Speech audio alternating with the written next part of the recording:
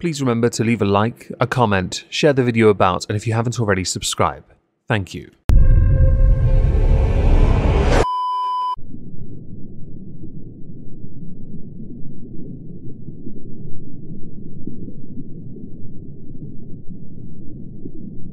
Well, isn't this just fantastic? Captain's log, subdates 230822.7. We're two days away from heading to the glorious city of Norwich for Trivium, and I need to decide now if I'm going to be throwing Dave Bay into the crowd to surf, or simply getting pissed and launching myself for shiggles and science. Hello everyone, welcome back to another video, a reduced video, a stripped back video owing to me having to go away in a couple days, not having enough time to make the fully edited versions I usually go with, sorry about that. Today we're going to talk about Colleen Ballinger Miranda Sings, continuing on from where we last spoke about her on the 16th of July. This should afford us an opportunity to catch up with things that have happened since and speak about other subjects that are relevant that we didn't address before because this information wasn't widely known, a lot of which came to light courtesy of the YouTuber Swoop, who went ham on everything, got all the details, all the information, and brought it to light. This includes interviews with the likes of Colleen Ballinger's ex husband, because let's not forget here, Colleen emotionally dumped her failed marriage onto others that were minors while also talking sexually with them. Yeah, it, it got really inappropriate. If you need a catch up on any of that, all the videos I have done are in the pinned comment down below. On the 17th of July, Vangelina Skov on Twitter had tweeted, or X, my unlisted video has been copyright claimed allegedly on behalf of Miranda Sings. The clip being used is both transformative and being used for commentary purposes. Included is an image, which is an email that she had received. A copyright owner using content ideas claimed some material in your video. Claimed by Awesomeness TV. How cringe. Vangelina, though, did underneath put, can't imagine why. She might want to claim a video of her calling a Native American her pet. Dustin Daly did offer some clarity by pointing out Awesomeness TV is a company Trisha Paytas used to use. They always violate fair use. There are a few companies like that on social media. I'm not overly fond of them. Shortly after this completely pointless copyright claim, Vanity Fair had published an article where the lawyer for Colleen Ballinger had addressed some of the accusations, right? It wasn't very good, and he essentially defamed Adam McIntyre. I'm going to play a clip from Rich Lux that adequately conveys that. Allegations against Ballinger getting similarly ushered into the mainstream press. A few days ago, the Rolling Stone piece went live. HuffPost published its own investigation report. Her fans say she groomed them as teens. In the ensuing weeks, Ballinger would be accused of everything from performing a Beyonce song in blackface, as Miranda sings, to texting a sex worker's nude photo to a minor. Ballinger's legal team has denied she performed in blackface, saying she was wearing green face paint for a prior cover of a song from Wicked. Her Sings tour has since been canceled. Her career abruptly stalled when reached out for comment. Ballinger's lawyer responded in an email that Vanity Fair inquires were simply a regurgitation of the baseless and unsubstantiated claims that other media outlets and individuals on social media have reported previously. Adam McIntyre responded. Here's what he had to say. The article is laughable. The journalist is working closely with Colleen Ballinger's lawyer, and the journalist is on the record lying about information about me that is proven I told the truth about.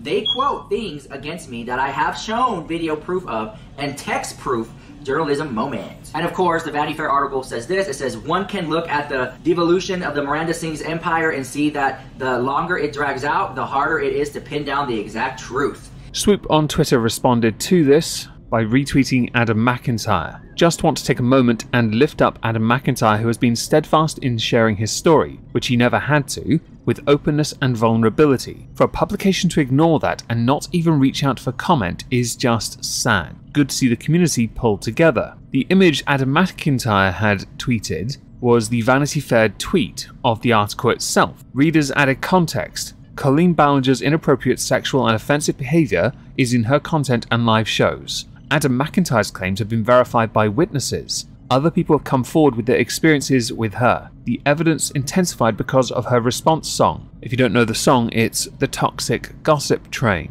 It wasn't a very good song, although I will give her a small modicum of credit. she knows how to play ukulele. That's all the credit she gets, because that's just the musical part, not the lyrical part. Yes, although the lyrical part was semi musical as well. Don't be pedantic. Get over yourselves. Focus on the points. Thank you. Now, as far as any kind of timeline goes, we skip ahead a month to about a week ago. And at this point, on both the Miranda Sings and Colleen Vlogs channels, there has been no content, but it is amusing to me that the Toxic Gossip Train video is still up and it has 14 million views, 1.9 million downvotes, and 142,000 upvotes, which is quite generous, yes. With one of the more recent comments that tickled me to no end, you have helped me through so so much. Ignore everybody else and listen to me. You are amazing, and if some things were pulled from your past that were said wrong, who cares? You have done more good than anybody I have ever met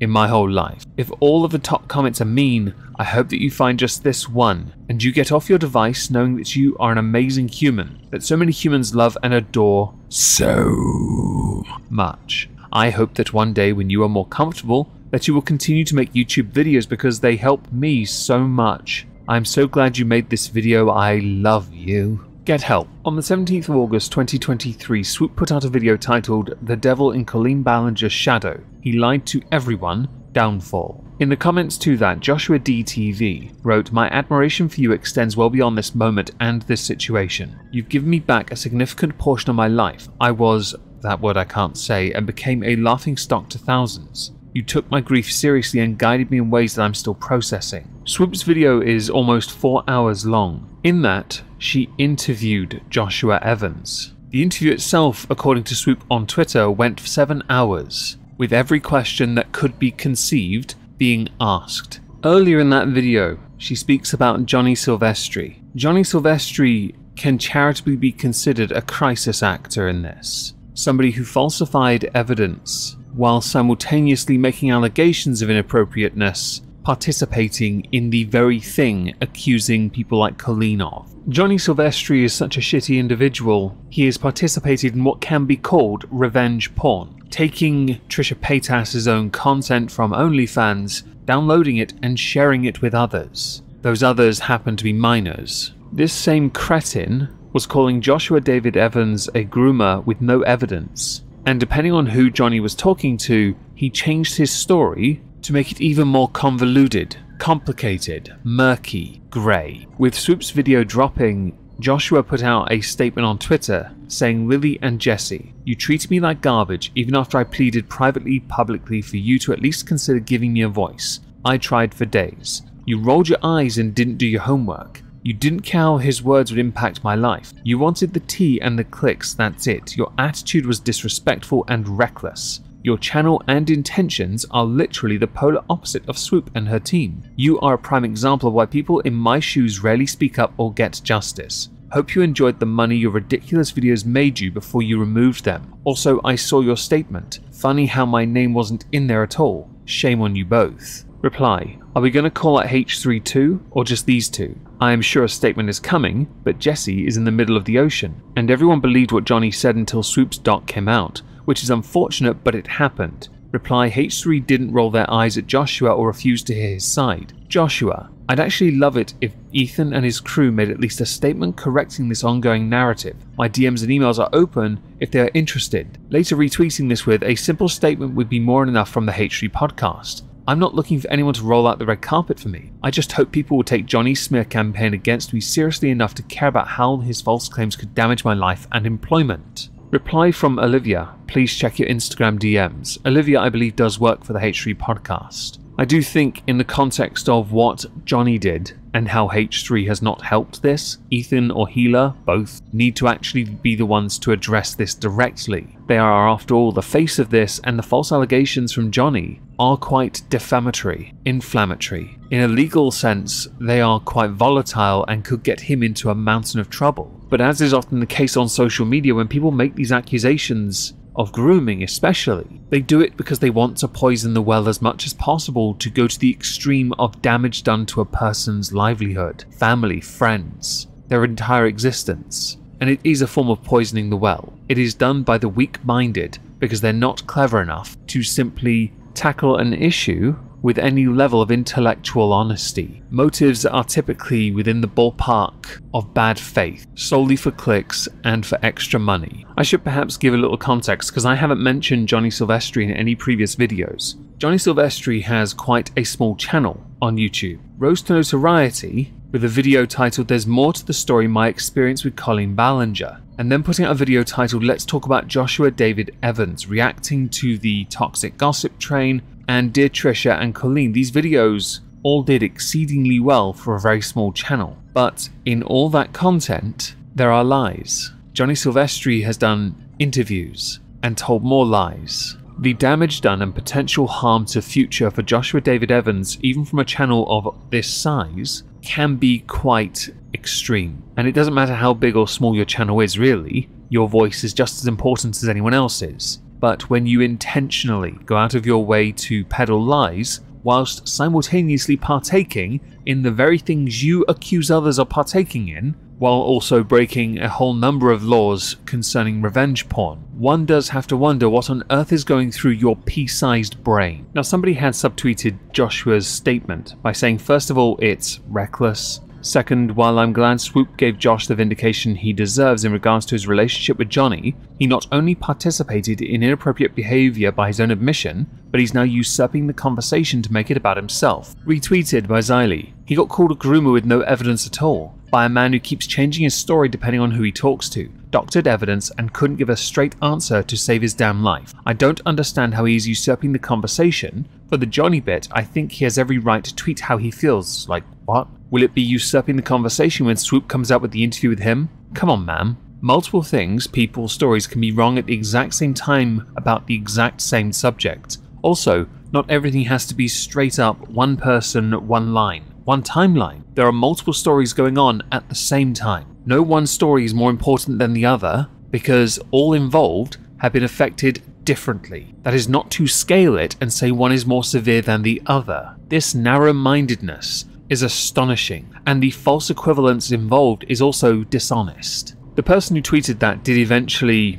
delete it, but did also go on to say, Honestly, if I read this from someone else, I would be as frustrated with me as y'all are. At first, I was thinking they're misconstruing what I'm saying, but you're not. This was a garbage take from me, period. When the first wave of the Colleen situation happened, I made it clear that the victims have the right to speak on it as long and as loudly as they want it. This take was hypocritical, which I will admit is a very fair assessment and humbling, something rarely seen on social media these days. I do want to make one last point. There are many different facets to this, and some of it requires a lot more information, which is why I'll link Swoop's videos down below. If you have many hours available, I highly recommend, for the sake of context, you watch them. If you have inserted yourself into a conversation and in doing so have done so to make it seem like you are either more important than you really are to the story, spin a narrative where you are even greater a victim than you claim to be, to throw others under the bus